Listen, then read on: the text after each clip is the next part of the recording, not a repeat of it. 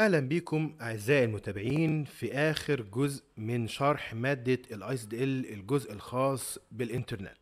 وهنا هنبتدي نشرح آخر جزء موجود معانا وبكده نبقى خلصنا مادة ال Windows مبقاش فاضل غير حل امتحان التجريبي الخاص بمادة ال Windows هنشرح النهاردة كل التفاصيل الخاصة بالإنترنت وبرنامج Microsoft Outlook تابعوني بعد قليل.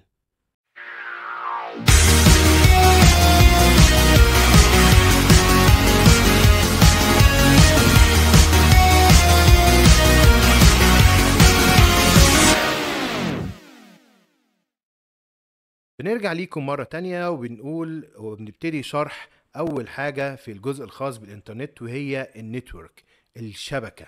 هو أنا يعني إيه شبكة؟ أول حاجة واللي أنا بستخدم الشبكة دي في إيه؟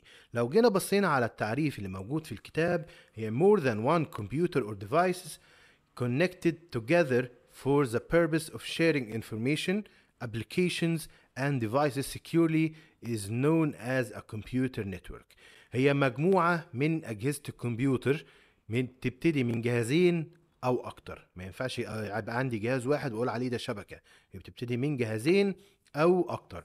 متصلين ببعضهم البعض بغرض مشاركة المعلومات والابليكيشنز والأجهزة بأمان زي الطبعة مثلا. وكده بنسميها شبكة كمبيوتر.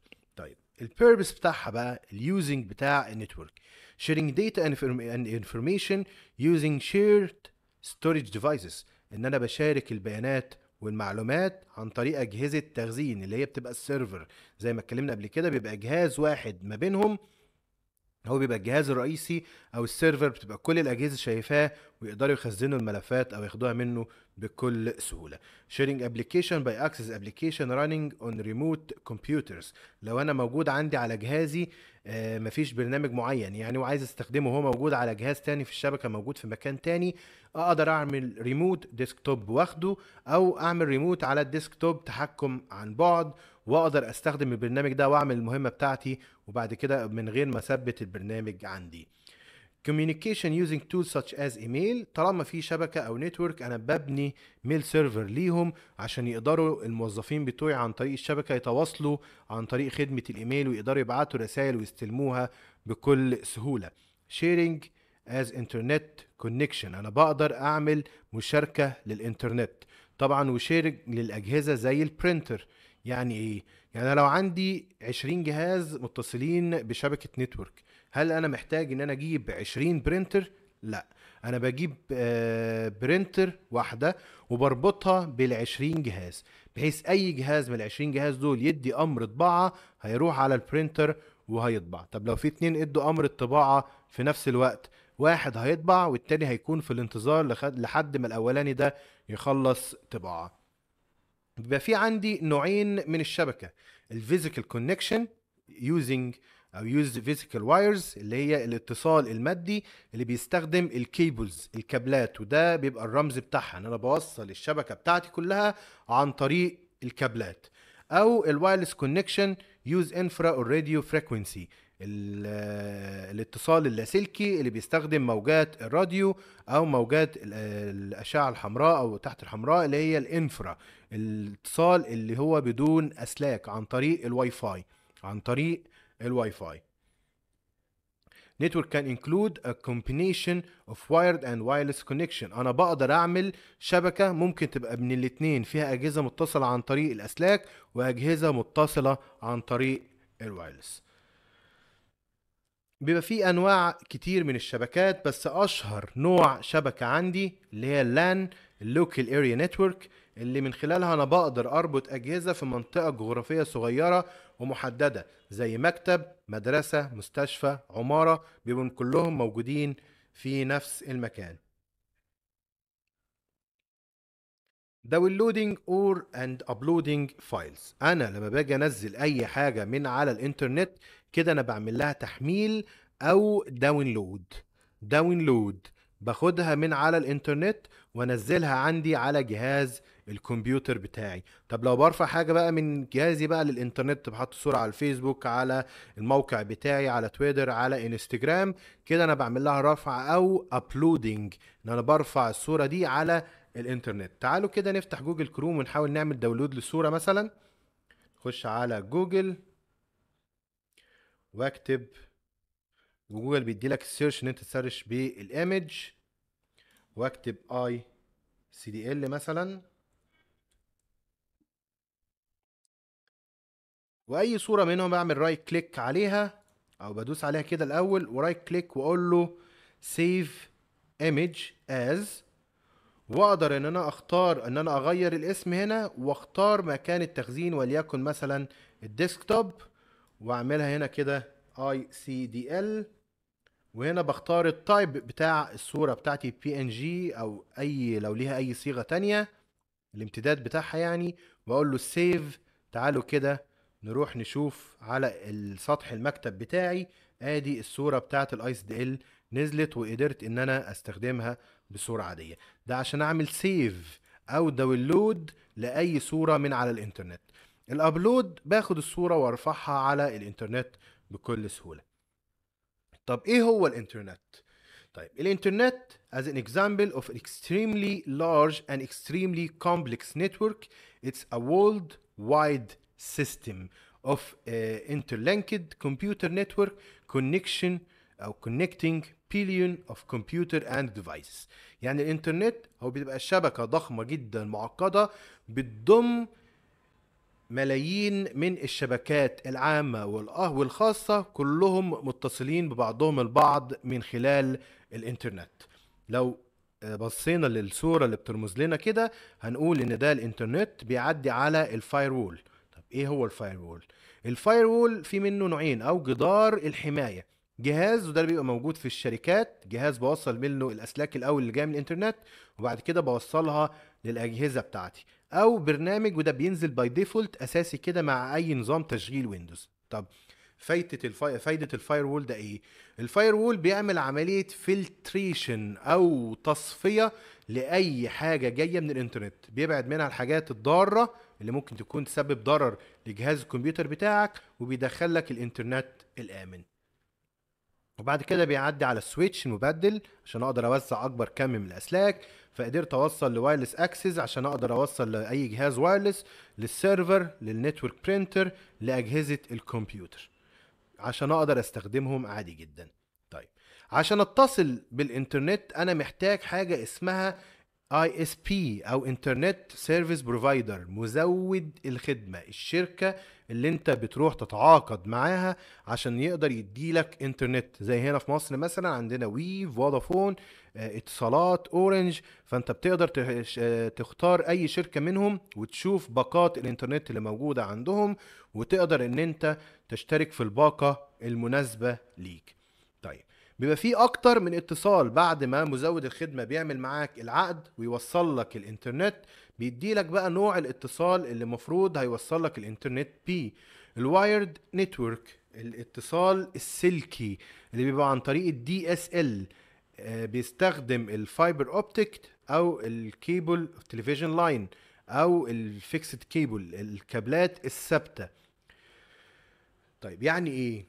أنا بقدر أوصل انترنت عن طريق الكيبل بتاع التلفزيون السلك بتاع الدش. آه ده كان اللي بيوصل بيه الإنترنت زمان وعلى فكرة بيستحمل سرعات عالية جدا وكان في ناس بتستسهل وتوصل بيه عشان ينقل الإنترنت والقنوات بتاعت ال satellite اللي هي القنوات الفضائية الاتنين مع بعض.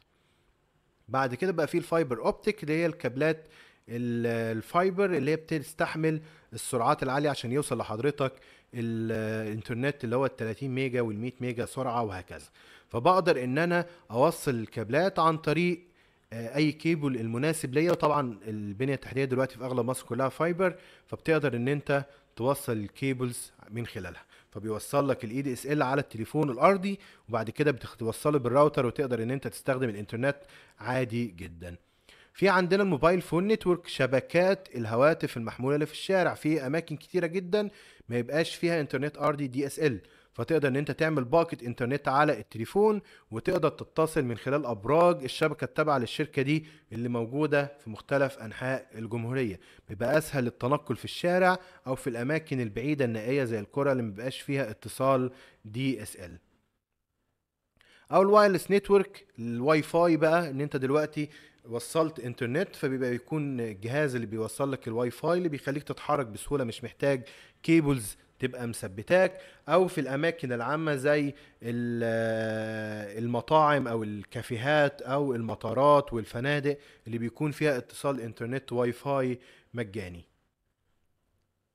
طيب إزاي إن أنا بتصل على الواي فاي؟ أنا باجي كده على علامة الواي فاي اللي بتبقى موجودة عندي في ال Windows بالشكل ده. وبختار منها آه، الواي فاي اللي أنا محتاجه وليكن ده مثلا وأقول له connect وهو بيعمل connect بيبتدي إن هو يطلع لك ال password عشان تقدر إن أنت تعمل connect على الشبكة دي.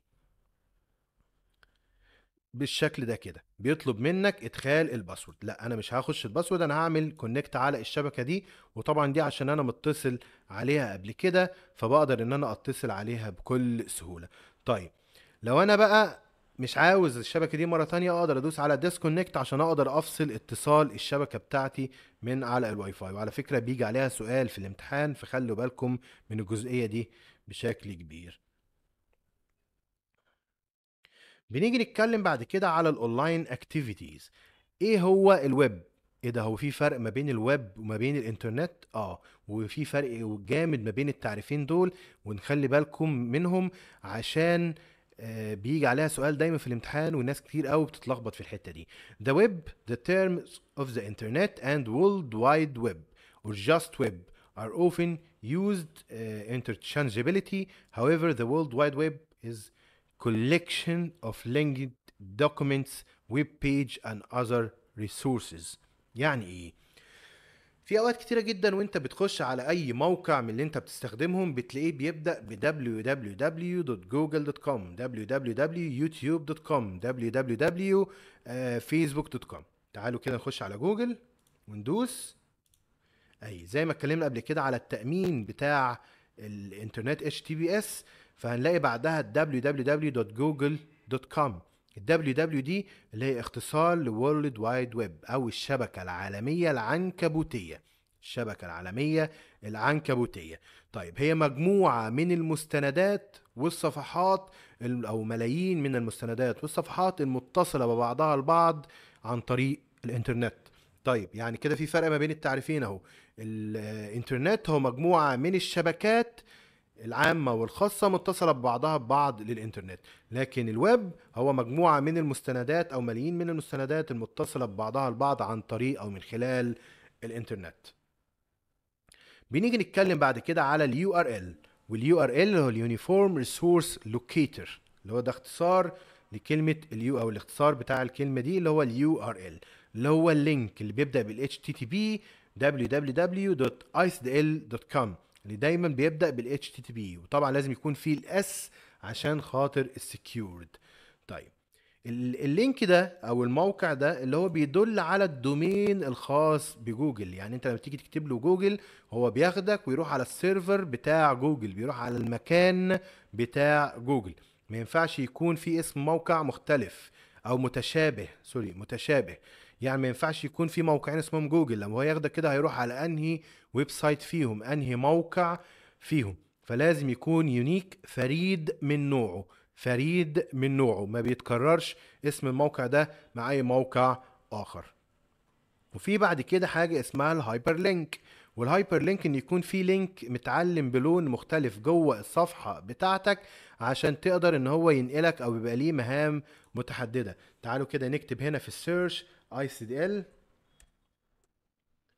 فلما دخلنا كده على ال ICDL شايفين كل اللي بالأزرق ده كل ده hyperlink أول ما هتدوس عليه هيبتدي ينفذ مهام متعددة. متعددة. زي إيه؟ أول حاجة take you to different part of the same page. إن هو هياخدك لمكان مختلف في نفس الصفحة بتاعتك. take you to a different page within a website. هياخدك في صفحة تانية بس في نفس الموقع اللي انت فيه يعني الصفحة رقم اتنين أو تلاتة. Take you to page into different webs- website. هياخدك لصفحة بس في موقع مختلف آخر. أو الأشهر بقى لل hyperlink ده enable you to download file أو launch application video or sound. يعني أنت تدوس على ال hyperlink ده عشان تعمل download لملف أو صورة أو تعمل تشغيل ل application أو فيديو أو ملف صوتي. بنيجي نتكلم بعد كده online activity overview أنا بستخدم الإنترنت في إيه؟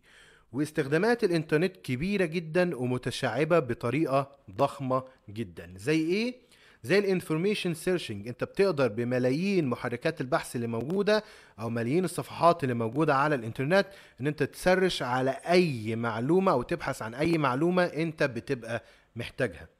ال communication التواصل إن أنت دلوقتي تقدر تبعت رسائل تقدر إن أنت تستقبل رسائل وإيميلات وتبعت إيميلات تقدر تعمل مكالمات صوت أو مكالمات فيديو عن طريق البرامج المختلفة زي ال instant messages الرسائل الفورية اللي بتدل عليها برامج زي ال Skype ال Viber الواتساب أو ال Gmail أو ال Microsoft Outlook اللي أنت بتقدر من خلالهم تبعت الإيميلات أو الرسائل ال purchasing دلوقتي بقى فيه كم ضخم جدا من المواقع تقدر تشتري أي حاجة أنت بتبقى محتاجها من وأنت قاعد في مكانك زي AliExpress Amazon وال eBay Jumia Noon كل دول اللي بيخلق لك shopping cart virtual عربة تسوق افتراضية اللي من خلالها بتقدر إن أنت تجمع السلع اللي أنت عاوز تشتريها وتعمل شراء وبعد كده بتدخل بيانات الشراء بتاعتك وبتشتري المنتج وبيوصل لك لحد البيت وبيبقى فيه كمان الدفع عند الاستلام.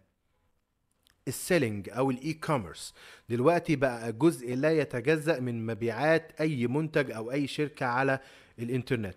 لأن أنت بتقدر توصل لأكبر كم من الناس بيبقى available 24 hours متاح 24 ساعة. بتقدر إن أنت تعرض المنتجات بتاعتك في ال day off بتاعتك فبالتالي بتقدر توصل لقدر لقدر كبير جدا من الناس عشان تبيع المنتجات بتاعتك. ال learning ال e-learning زي إن أنت تخش على اليوتيوب وتتابع course أو تعمل أو تشترك في course تبع جامعة ما في أي مكان في العالم وتقدر إن أنت 24 ساعة في اليوم سبع أيام في الأسبوع تدرس الكورس ده من وأنت قاعد في مكانك وتاخد كورسات من أمريكا من إنجلترا من ألمانيا وده بيسهل عليك عدم التنقل وبيديلك شهادات معتمدة كمان. الببلشنج دلوقتي كم ضخم من الروايات أو الكتب أو الأبحاث العلمية تقدر تعمل لها نشر عن طريق الإنترنت وتروح لكمان لبرامج بيبقى مختصة بال online book store تشتري منها الكتب دي أونلاين عشان تقدر إن أنت تقراها بكل سهولة. وبقى سهل دلوقتي إن أنت تنشر البحث أو الكتاب بتاعك عن زمان لما أنت كنت محتاج تروح المطبعة. لا دلوقتي تقدر عن طريق الإنترنت وتوصل لأكبر قدر من الناس.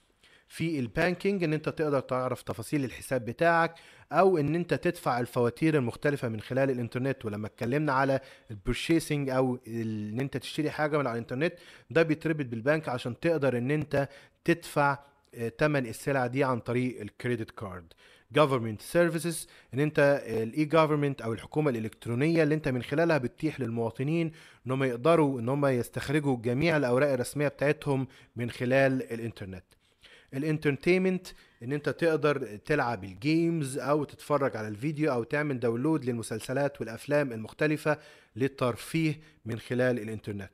ال software access إن أنت تقدر تستخدم application مبنية حاجة اسمها web based application مبنية على المتصفح. مش محتاج إن أنت تعمل لها download وتستخدم ال application دي من خلال المتصفحات زي زمان ولعبة المزرعة السعيدة اللي من خلالها إن أنت كنت بتقدر تلعب اللعبة دي من غير ما تعملها download كنت أنت بس محتاج إن أنت تفتحها على متصفح. ال file storage إن أنت بقيت بكل سهولة بتقدر إن أنت تخزن بياناتك على الإنترنت من خدمات التخزين المختلفة زي الجوجل اللي هي ال Gmail أو ال Google Drive أو ال iCloud إن أنت بتخزن البيانات بتاعتك وتقدر إن أنت توصل لها من أي مكان في العالم طالما معاك جهاز كمبيوتر أو هاتف ذكي واتصال بالإنترنت. بنيجي نتكلم بعد كده على ال search engine أو محرك البحث. بيبقى عندنا أكتر من محرك بحث إن إحنا بنقدر نستخدمه. واشهرهم طبعا Google dot com محرك بحث جوجل. وعندنا ال Bing وال Yahoo وال DuckDuckGo طيب محرك البحث يعني إيه؟ يعني أنا بفتح موقع زي جوجل كده وأدوس على جوجل وبعد كده باجي هنا في المربع ده أكتب أي حاجة أنا عاوز أعمل عليها search وليكن مثلا I C D L ويبتدي يطلع لك بيانات وتخش على ICDL Arabia المكان المختص بالشهادة المعتمدة وتقدر إن أنت تتابع أي موقع أو أي بيانات أنت بتبقى محتاجها.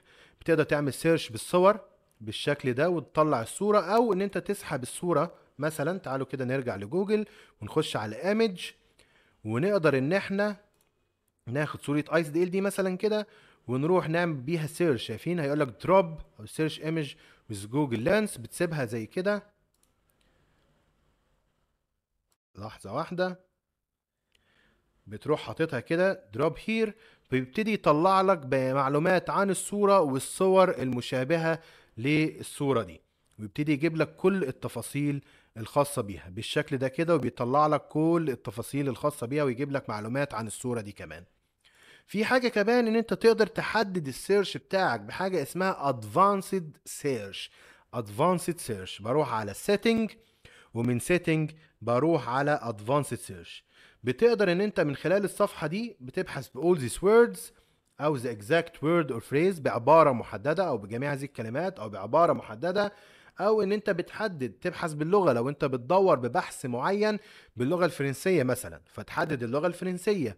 أو تبحث بالمنطقة. لو أنت عارف إن البحث ده صدر مثلا في لندن تبحث في منطقة لندن فقط.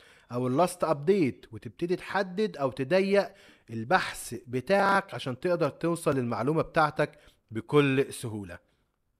ده بالنسبة لل search أو ال advanced search بتاعك.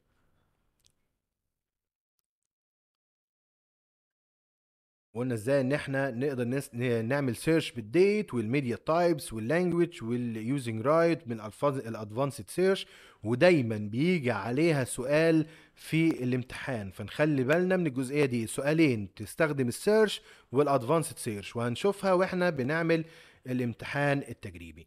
بنيجي بعد كده ال organizing bookmarks يعني إيه؟ أنا المفضلة. أنا عايز أعمل موقع مفضل ليا. تعالوا كده نمسح جوجل ده بس كده. أهو أنا عايز أخلي جوجل ده بدل ما كل مرة أخش أكتب Google dot com يبقى المفضلة بتاعتي. أول حاجة والطريقة السهلة إن أنا بسحب كده وأحط جوجل عندي بالشكل ده. تمام؟ أو إن أنا بدوس هنا كده وأقول له done. أو إن أنا بعمل folder جديد أو بختار folder أو choose another folder وبعمل folder وب save فيه ال bookmarks بتاعتي أو المفضلة بتاعتي بحيث إن أنا ممكن أعمل category يعني أحط مواقع الموسيقى لوحدها مواقع الفيديو لوحدها مواقع الشغل لوحدها وهكذا. أو من الإعدادات. بخش كده على ال settings وبروح على ال bookmarks ويا إما بظهر ال show bookmarks bar ده عشان يظهر لي المفضلة بتاعتي أو إن أنا بقول له bookmarks manager وبيظهر لي بالشكل ده وأقدر من هنا من الثلاث علامات دول كده أقول له add new folder وأسميه مثلا ICDL وأقول له save واتضاف عندي أهو بحيث أول ما أحط جوجل فيه مثلا كده اهو اسحبها واحطها جوه ال ICDL ادوس هنا هيظهر لي كل المواقع اللي موجودة جوه ال folder ده. أو ان أنا بدوس على النجمة و once إن أنا دوست على النجمة هو اتضاف عندي في ال bookmarks بتاعت البار بتاعتي. دي طريقة. الطريقة بقى اللي بتيجي عليها الامتحان بتبقى موجودة في Internet Explorer ان أنا بروح كده وبقول له من Tools أو Favorite وبعد كده بقول له Add to Favorite بيظهر لي كده بقول له Create لو بختار ال folder ال folder بتاع ال Favorite أو بختار له New Folder وبسميه وبختار بقول له Create In لو عايز أخلي ال folder ده جوه folder تاني. وبقول له Add فبيتضاف عندي ال Messenger ده جوه ال Favorite. بصوا أهي. اتضاف عندي من ضمن المواقع الخاصة بال Favorite بتاعتي. ودايما بيجي في الامتحان على شكل Internet Explorer فنقدر نختار من Favorite ونقدر نعمل ال options بتاعتنا. ده بالنسبة للمواقع المفضلة بتاعتي. بنيجي نتكلم بعد كده على ال downloading file وإحنا شفناها من شوية وإحنا بنعمل download للصورة. Web page printing option طيب أنا لو عايز أطبع صفحة الإنترنت بعمل إيه؟ من Google Chrome أنا بروح على الثلاث نقط دول اللي هم الخاصين بإعدادات المتصفح بإعدادات ال web browser وبختار Print ومن Print هنا بختار All page أنا عايز كل الصفحات عدد ال copies وال printer المستخدمة وبعد ما بخلص خالص بدوس على Print طيب بالنسبة ل Internet Explorer فأنا بروح على قائمة File وبعد كده بقول له Print وده برضو السؤال بيجي على نفس الشكل ده ما بيجيش على Google Chrome أنا بشرح لكم بس التفاصيل. وبختار Numbers of copies هو عاوز كام نسخة على حسب ما بيطلب مني في السؤال وال pages وبعد كده بدوس على print عشان أطبع الصفحة دي. ال copyright أي حاجة موجودة على الإنترنت فهي محمية بحقوق الملكية الفكرية. كون إن أنت بتروح تنزل ال application من مصدر غير معروف ده كده انت بتنتهك حقوق الملكية الفكرية وبيعاقب عليها القانون وبتوصل لغرامات ضخمة أو حبس. فنخلي بالنا طالما الحاجة أو البرامج أو الأغاني أو ال videos أو الأفلام دي مش متاحة مجانا لازم أروح أشتريها لأن أنا غير كده هبقى بعرض نفسي للمساءلة القانونية. وده هيعمل مشكلة كبيرة. أي حاجة بتبقى عليها الرمز ال copyright أو حقوق الملكية ده لازم أخلي بالي منها. بنيجي بعد كده على ال- الإعدادات المتصفحات. فأنا عايز أعمل صفحة رئيسية. بالنسبة ل Google Chrome أنا بروح على الإعدادات وبعد كده بدوس على ال Settings الإعدادات وبعد كده بختار حاجة اسمها appearance. ومن appearance يا إما بختار new tab أو باجي هنا كده وبكتب الموقع اللي أنا عايزه. وبكتب الموقع اللي أنا عايزه. عشان أقدر إن أنا أعمل الموقع ده كموقع صفحة رئيسية. تعالوا كده لو دوست على زرار ال Home هتلاقيه بيخش على الموقع الخاص ب ICDL إن أنا عملته موقع رئيسي. أو أول ما بدوس هنا بيبتدي إن هو يضيفه خلاص كصفحة رئيسية عندي. طيب بالنسبة بقى ل Internet Explorer أنا بروح على Tools وبعد كده إنترنت Options Internet Options بيفتح لي الصفحة دي. يا إما بكتب الموقع بإيدي يا إما بقول له Use current طب أنا عايز أعمل موقع جوجل مثلا هو الموقع الأساسي بتاعي. وبعد كده بقدر من خلال Tools وأقول على Internet Options وبعد كده بقول له Use current فبياخد الصفحة الحالية هي إنها تبقى الصفحة الأساسية بتاعتي. أو إن أنا بكتب الموقع بإيدي وبعد كده بقول له OK فبتبقى الصفحة الرئيسية بتاعتي. طيب تاني حاجة بعد كده managing pop ups كتير مننا لما بيجي يستخدم مواقع التحميل اللي موجودة على الإنترنت بيبقى محتاج إن هو أول ما بيدوس click شمال جوه الموقع بيروح فاتح له كذا صفحة كده صفحات إعلانات. طيب الصفحات دي ممكن تكون كويسة وممكن تكون في منها الضار اللي بينزل لك فيروس أو بينزل لك ملفات للتجسس. طيب بلغي ال pop ups دي إزاي؟ بروح على ال Settings وبعد كده privacy and security أو هتلاقيها عندك في تحديثات أخرى مكانها هنا advanced.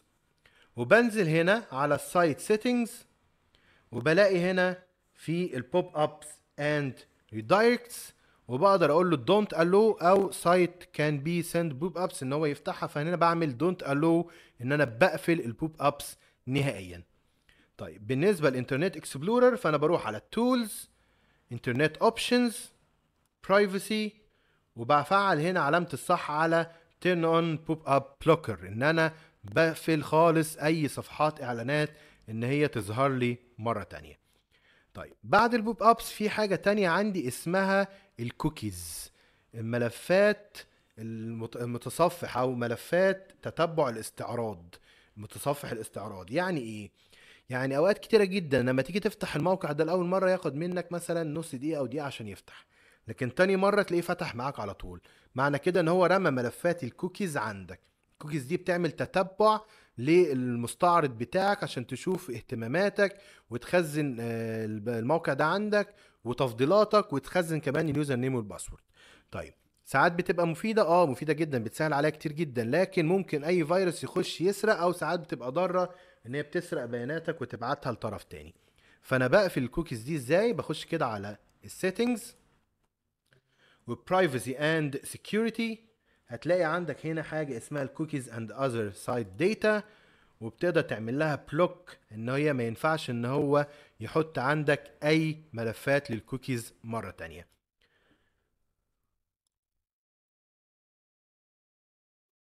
طيب بعد كده بروح على Internet Explorer tools internet options privacy وبعد كده بخش على advanced وبقدر إن أنا بقفل الكوكيز هنا لل first party الموقع اللي أنت فاتحه دلوقتي بتعمل له block أو prompt إن هو يبتدي يسألك أو لل third party لأي موقع آخر تقدر تعمل له accept أو block أو prompt إن هو ما يفتحش الموقع ده مرة تانية. بعد كده موجود معانا ال history أنا لو بشتغل على أي جهاز وبخزن الجهاز ده أو المتصفح ده بيخزن كل المواقع وال user name أو ال password اللي أنت استخدمتها من أول ما بدأت تستخدم المتصفح ده. تمام. لو أنت الجهاز في البيت مفيش مشكلة لكن لو جهاز في الشغل هيبتدي يخزن كل البيانات بتاعتك وده ممكن يعمل لك مشكلة كبيرة جدا. طيب بمسح ال history دي إزاي؟ بروح كده على آه، المتصفح بتاعي واخش على ال settings وبعد كده privacy and security clear browsing data. وابتدي بقى basic ولا advanced. Advanced من last hour ل all time وبتحدد على كل حاجة وبتعمل لها clear لل data بتاعتها. طيب ال Internet Explorer بروح على tools internet option وباجي هنا هتلاقي فيه browsing history. بخش على delete وبعلم على كل حاجة لو هو قال لي في الامتحان مثلا delete all browsing history بعلم عليها كلها لو هو قال لي حاجة معينة بشوف هو إيه اللي اختاره وبقول له delete. وبعد كده ببقى مسحت كل ال browsing history اللي موجودة عندي في الجهاز. بنيجي لآخر جزء موجود معانا في الإنترنت وهو الجزء الخاص ب Microsoft Outlook نخلي بالنا من حاجة ال Outlook اللي موجود في الكتاب حاجة وال Outlook اللي موجود في الامتحان حاجة تانية خالص. الاتنين مختلفين عن بعض. فعشان كده أنا هشرح البرنامجين. هشرح ال Microsoft Outlook الأساسي اللي بيتثبت على جهاز الكمبيوتر بتاعنا وفي الامتحان التجريبي أنا هشرح ال Outlook الخاص بالامتحان التجريبي اللي إحنا هنمتحن عليه.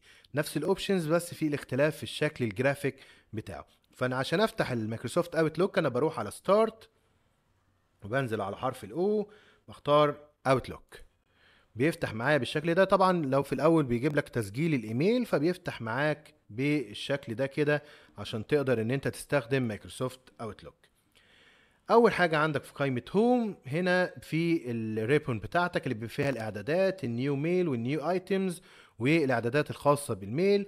هنا ال navigation pane اللي بيبقى فيها ال folders بتاعتك الإنبوكس والدرافت والسنت آيتم والديليت آيتمز والأركايفد. كل ال folders بتاعتك. هنا ال reading mail ال mail اللي بتوصل لك وهنا ال reading area ال mails اللي بتوصل لك عشان تقدر إن أنت تقراها. هنا ال mails ال calendar هنا ال contacts أو زي دليل هاتف كده وال to do list طيب عشان أعمل mail نمشيها واحدة واحدة كده. بروح على new mail بيظهر لك ال options دي. ال to لازم الشخص اللي أنا هبعت ال mail ليه وليكن مثلا ال mail بتاعي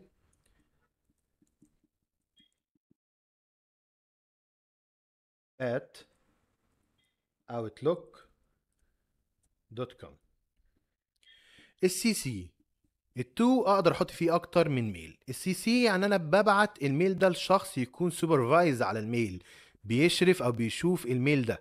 يعني إيه؟ يعني مثلا هنا لو ببعت لموظف فأنا هنا ببعت للمدير بتاعه. ببعت للمدير بتاعه. وال subject ده الموضوع بتاع الرسالة. في options كمان أقدر أضيف حاجة اسمها ال B B ال BCC ال private carbon copy اللي هي الرسالة المخفية. لو أنا الموظف ده ببعت له ببعت لمديره والاثنين كل شوية يقولوا لي إحنا ما بنشوفش رسالة والرسالة بتوصل لهم. فأقدر أحط المدير بتاعهم في ال BCC فهو المدير بتوصل له الرسالة لكن الموظف ما بيشوفش إن في حد موجود معاه في ال mail ده. وليكن مثلا هنا موضوع رسالة أقول test وهنا kindly أو dear الأول dear مينا. ولازم يكون في professional حاجات كده وانت بتعملها زي الكوما اللي بتيجي من حرف الواو. kindly check this mail dot br best triggered مينا خلصت الكلام ده كله بدوس على send. Send يعني أنا هتجيلي رسالة في الوارد. هنشوف دلوقتي هي المفروض هتاخد مش هتاخد وقت.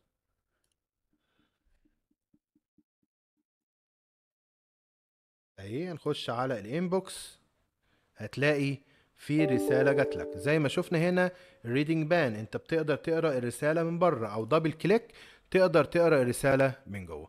جوه إحنا نقدر نعمل delete أو reply ترد على مينا.